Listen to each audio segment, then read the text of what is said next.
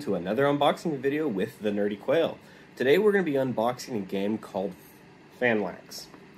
Now there's a bit of a story with Fanlax in that it's been delayed, there's been things happening, the shipments were delayed, once they started shipping things out, they found out part of the pieces were missing, and then finally, once the all the things have been being shipped out from their Kickstarter stuff, found out that part of the board was messed up.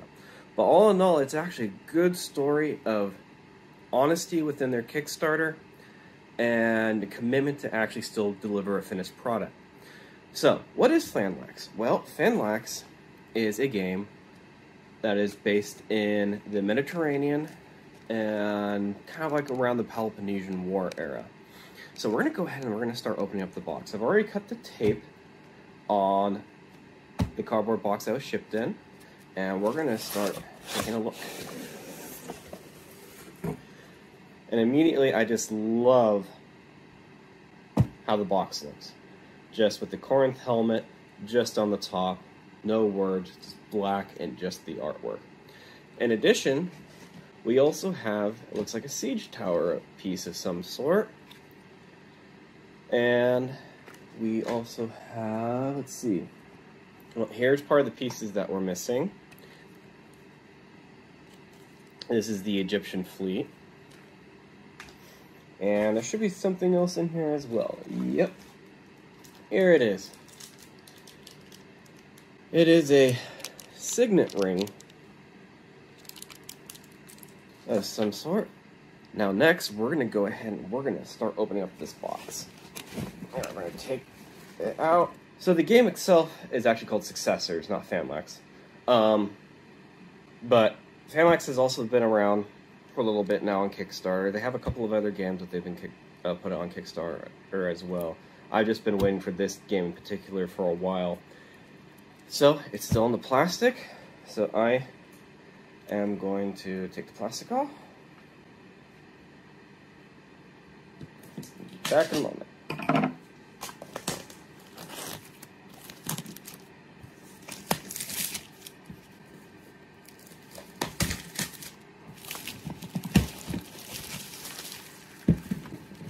All right, now we're gonna see exactly what we got in here.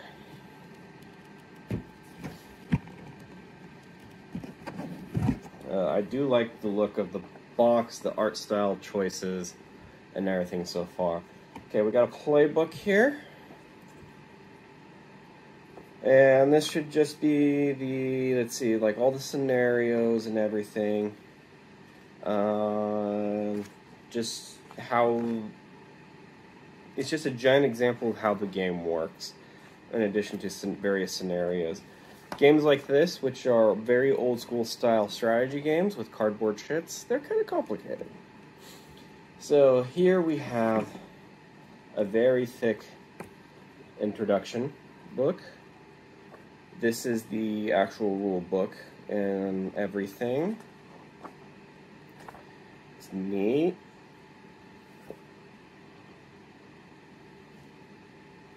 The actual time period of this game, it looks like, from what I remember, is um, after Alexander the Great, and it's supposed to be all his successors, I believe. Yeah, that looks like about right. And here we just have several just reference sheets for all the players. There's about six of them, four to five, six, yeah. Those are always handy. And next we have the board.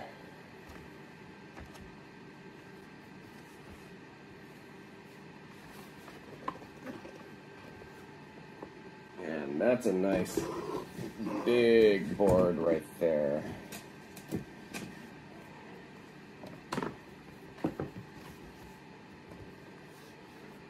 So as you can see, you've got like Europe, Mediterranean, Egypt, Africa, some of the Middle East as well. Uh, one thing I like about this map is that it's very time period appropriate feeling with the colors, but it's also easy to read. Yes, there's a lot of stuff on here, there's a lot of cities, a lot of territories, but it's easier to find them compared to some other um, games I have played that are similar. So let's stick this board to the side. Alright, now we have all the pieces here. So first, I'm going to just take a look here. So we have some cards here. Um, we'll just pop open these really quick.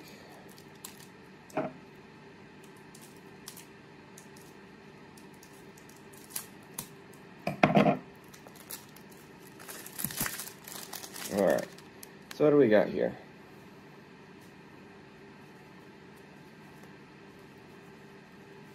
Cards are not order. As in, like, some of them are one way, some of them are the other. Um, yeah, it just looks like it's a simple, just kind of like events type of thing, type of card. Looks like there's different um, different themes, so that looks like it's more combat based.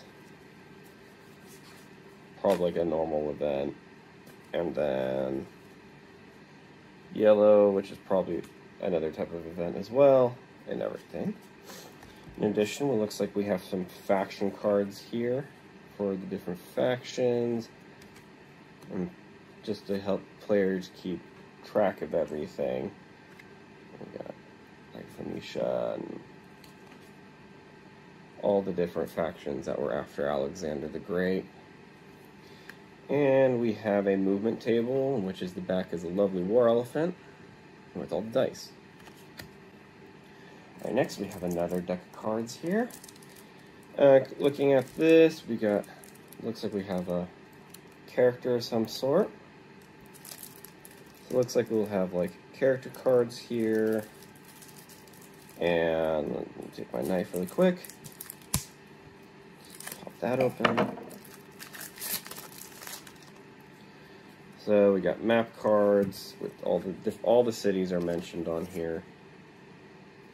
So we got a lot of cards for that. Probably I'm not too sure what they're for yet because I don't know what the game rules are. Here are just with the Corinth helmet back. Just a variety of uh, uh, hero characters, I take it, or just generals and satraps and or satraps, not satraps, commanders and all that good stuff. All right, next we will take this out. We have a bunch of miniatures here. Got the camera. Got a lot of good miniatures here. Uh, the quality looks pretty good too. They got numbers on them. I believe they probably correlate to all the character cards as well, but they came out looking pretty nice. Each one is really individual and different looking, so that makes it nice and easy. Set that there.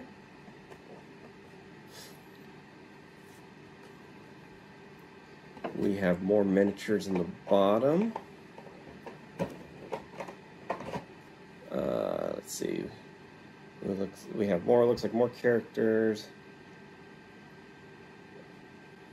Looks like some either some siege weapons. This is a chest of some sort. And probably a wagon. This will be interesting to see how all this plays out when the game actually we actually get to play the game. One nice thing is that it comes with several Ziploc bags. I am a very much a huge stickler for organization. Alright, what do we got here? Looks like these are clips to hold cards up. We've got miniature bases, it looks like, for some of the miniatures. We have the dice down here. They're customized. So some have elephants. I can't see the one with the elephant. Hold on. There we go. It's got elephants on there, some normal dice as well. Standard array of d6s. Take that off. Alright. Now we've got more uh, just cardboard cutouts for all the characters. And we've got all the cardboard tokens. So all the soldiers, all the Navy ships, everything.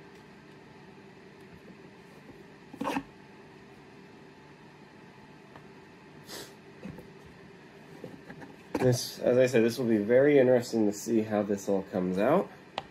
And at the bottom here, we have a variety of the miscellaneous uh, cardboard cutouts.